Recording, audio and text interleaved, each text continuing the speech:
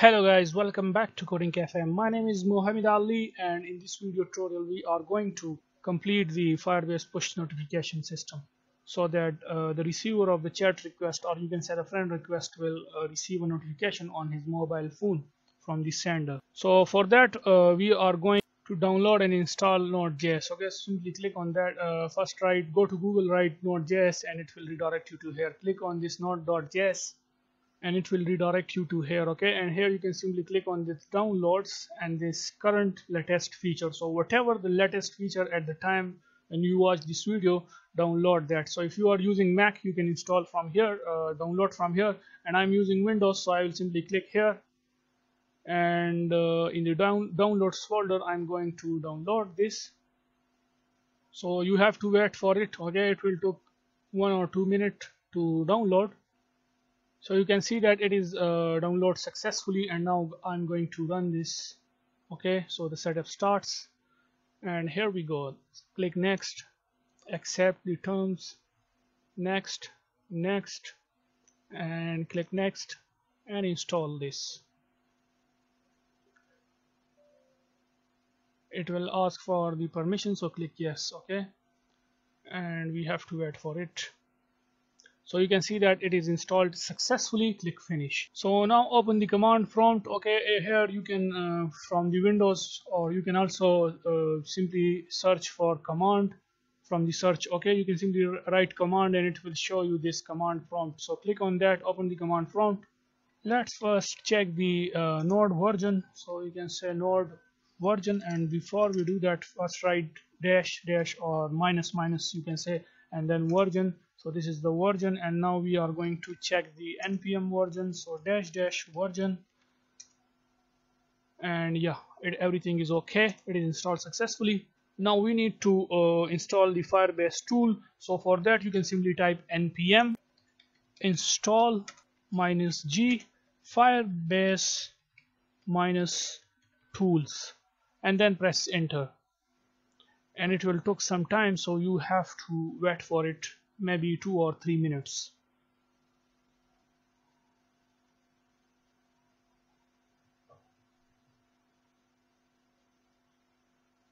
So you can see that uh, the packages are added successfully. I mean it is the Firebase tool is installed uh, successfully. Now what we're going to do is the next thing is to log in to the Firebase. So here you can simply type Firebase login. Firebase login and then press enter and here you can uh, it shows us allow firebase to collect anonymous cli okay so we do not want that. So uh, write n and then press enter. And here uh, it will uh, redirect you uh, to your gmail account. Okay so as you know that my project is inside i mean the firebase projects are created by this. I mean i'm creating that by using my this email address. So i will simply click on that okay because I have to access these projects now uh, from there. And here you can simply click allow. And you can see whoa firebase CLI login successfully. So yeah that's it. You can see that. Success logged in as and this is my email address which is uh, alizab875 at gmail.com so once we log in we are going to create a folder here. Okay create a folder and let's give it a name as uh, you can give it any name you want. Let's say I'm going to give it a name as a simple notification okay? Because here we will uh, we will have some files now okay? So just notification. And now we can access that from here. So you can simply type cd slash users slash then you write your PC name. And if you do not know what is your PC name then you can simply go to the C and here we have this users folder. Okay and this is my PC name. In my case it is coding cafe and whatever your PC name is you can simply type your PC name here. So I will simply type coding cafe slash on the desktop. I have a folder by the name notification. Okay which is this folder notification and then press uh, enter. Here you can see we access that. I mean we are now inside that notification folder. And now we have to initialize the firebase. Okay so for that you can simply type fire firebase init so firebase init and then press enter. And here you can see are you ready to proceed? Write y and then press enter and here we go. Here you can see we have these functions okay? Which is functions configure and de deploy cloud functions. So press uh, space button on your keyboard and then press enter. And you have to wait okay? So here you can see uh, these are all our projects. So our project name is whatsapp okay? So I can simply press enter. And which uh, language you, would you like to use uh, to write cloud functions. Okay so we will use javascript. Okay select javascript and then press enter. Do you want to use uh, ESLint whatever it is? Okay we do not want so write uh, n and press enter. Do you want to install dependencies with npm now? Yes. Write y and then press enter. And we have to wait for it okay? It will took some time so you can see that firebase initialization complete okay and this is the screen which we get okay? So yeah. Now minimize this command prompt okay? Do not close this minimize this. And now if I come to the uh, notification folder here you can see it download some files for us. If you click on this functions here we have this uh, node modules and index and all these package okay? So we have this index file. So whatever you i mean uh, open any text editor uh, you have in your computer. I have some sublime text editor and many guys also use uh, not no, notepad plus plus or context whatever uh, editor you want okay? You can simply drag and drop that file here okay? So this is our index.js file where we will uh, write our functions and we will then upload this function to the uh, firebase here okay? To this firebase functions so now what I'm going to do is first of all let's remove this comments. And here we can simply say put single braces use use space strict strict then we have const functions require let me increase this size. After that we can say const admin equals to require single brace firebase minus admin which is the permission okay? And after that we can say admin dot initialize app function dot config dot firebase. Put a semicolon here. Now here we can say exports dot send notification equals functions dot database. Here we are now going to create a reference to our uh, notifications node in the firebase database. So what i'm going to do here you can simply type this single quotations and then slash and the name of that node is notifications. Slash put two curly braces and here we can say receiver rec receiver underscore user underscore id slash put two curly braces notification underscore id dot. Let me expand this okay so that we can see the code easily okay. So dot on write put two braces again and here we can say pass the data comma context. And don't worry I will uh, also uh, provide the link to this index.js uh, code okay? Which is JavaScript code for sending the function Firebase functions for the push notifications. So link will be available in the description down below. So after that what I'm going to do is uh, here you can simply after this put two curly braces move it to the next line and make sure to put a semicolon here. And now inside here we can simply say const receiver user id equals to context dot params p a r a m s dot receiver user id so we are storing uh, we are getting the receiver user id and we are storing inside this variable receiver underscore user id and now here we can say const notification ID and make sure to change this minus 2 underscore okay? By mistake I wrote this here okay? And also change this to notification underscore id equals to con context dot param dot notification id console dot log put to single quotation and here we have to say a notification to send to the receiver okay? So put comma and pass the receiver user id here. This is just a log message okay? Now after that uh, we can say if not which is the exclamation mark data data dot after dot val and then we are going to display a message. If the data is not available it means that the notification has been deleted.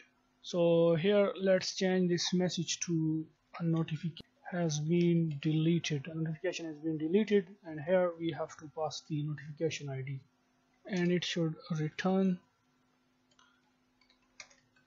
null.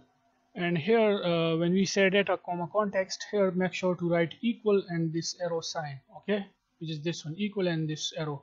And uh, after this if statement uh, we can uh, get the device token from the database and let's give it a name as device token equals.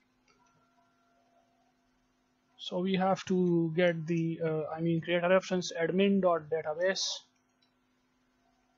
dot ref and here uh, we do not need to add these two quotation. Instead of that we need to add these uh, these signs okay? I don't know the name of this but on your keyboard above the tab button you will get this okay? So press twice okay? And this sign will appear okay? And inside that you can simply write slash users inside the users node okay? Slash dollar. We have to pass the receiver ID which is our this one okay so dollar receiver user id slash and we have to use the same name which is uh, this one. If I show you device underscore token okay? So make sure to write the same name here which is device underscore token. And after you can say dot once single quotation value. Put a semicolon here then we can return the device token. So we can say device token dot then. Put these two braces here we have to say result equals to and this arrow sign. And two curly braces okay make sure to put a semicolon here. And let's move this to the next line. So inside this we can say const token underscore id equals to we have to get the value of that by using the result. So we can say result dot val. And we can send the notification to the user by using the payload. So we can say const payload. Payload equals to and two curly braces and inside this const payload we can say notification colon and put two curly braces then we have to give title to our notification that the receiver will receive so the title will be uh, inside this double quotation we can send new chat request comma then the body will be and above the tab button on your keyboard we have this okay? So double press that button and you will get these two sign which is not single quotation let me tell you again. And here you can simply write you have a new chat request. Please check. Or whatever you want to type okay? Please check or anything you want to tell the receiver. And after that we need to uh, display icon okay? So you will use the default icon of our app. So you can say D-E-F-A-U-L-T and it should be inside double quotation. So control X put double quotation and paste that here. And make sure to put a comma here you can see we have this const payload okay which ends here. So also put semicolon here. And after that we can return the admin dot messaging dot send to device and pass the token token which is basically our this okay token underscore id and pass the payload to it which contains the notification title body and icon. Dot. Then response equals to this arrow sign put two curly braces make sure to put a semicolon here and let's move this to the next line and here we can now uh, display a message by using the console. So you can say you can type any message. This was a notification feature. Now press ctrl s to save this or also click on this file and save this okay? So once you save this uh, now I'm going to go to the command prompt again and here you can simply type firebase deploy and now press enter. And now it will upload our index.js file uh, here to the firebase functions okay? So we have to wait for it. You can see this okay? So deploy complete. So now uh, click on this functions okay? And here you can see our file has been uh, uploaded here. So now I'm going to test the app. So before we test the app first of all uh, come here to this build.gradle module app. And from here you can simply uh, here you can see we have this firebase database. Okay copy this. And we need to add the messaging dependency the firebase cloud messaging. Okay so remove this database and we can you can simply write m e double s a g i n g. Okay messaging firebase minus messaging and uh, the version will be this one. Okay which is for the database auth and storage. So yeah that's it and then click on sync now and it will sync your whole project okay? So make sure to add this dependency before you test the app. And now we are adding uh, we are ready to run the app okay? So let's run the app on both devices. So you can see that our app is running now on both devices. So on this device i'm going to log in uh, using sasha account okay? And I write the password. And also let's write here from here I'm going to log in using Mohammed Ali share account. So let's click on login. Click login. So you can see that I am now login on both devices. So she has only one friend which is Muhammad Ali and uh, Muhammad Ali share has two friends which is Muhammad Ali and Gia Roberts. So what I'm going to do is go to the find friends and now uh, Muhammad Ali share will send a friend a chat request to Sasha Glenn so I will minimize the app from here okay? And now uh, here we have this okay? Sasha Glenn come here. And now let's send message and keep your eyes here. You can see this. If I expand this here you can see this. Here we go. New chat request. You have a new chat request. Please check. Let's say I'm going to cancel this okay? And now I'm going to send another chat request so keep your eyes here. And here we go. Here you go. Yeah i mean this is incredible. Let's send another one. So this is working perfect. I mean this is amazing. This is incredible. So here you can see we are receiving the uh, push notifications on the other mobile phone successfully. So now this user uh, whenever he click on this uh, request okay then it will send us to the app. And from there a user can see that his Muhammad Ali share has uh, sent a chat request to Sasha Glenn okay? So we have successfully added the uh, push notification to our app. So yeah that's it for this video. And and before I end this video one thing I want to show you guys is the Firebase functions okay? So if you click here on the logs okay? Go to the functions click on logs and here you can see that uh, this is the log uh, messages which we get. We have a notification to send to okay this is the id and everything okay? And uh, here you can see uh, finished with status okay? So yeah everything is fine. And if anyone is new to our channel then please subscribe our channel coding cafe. Thumbs up for this video and see you guys in the next video. Bye for now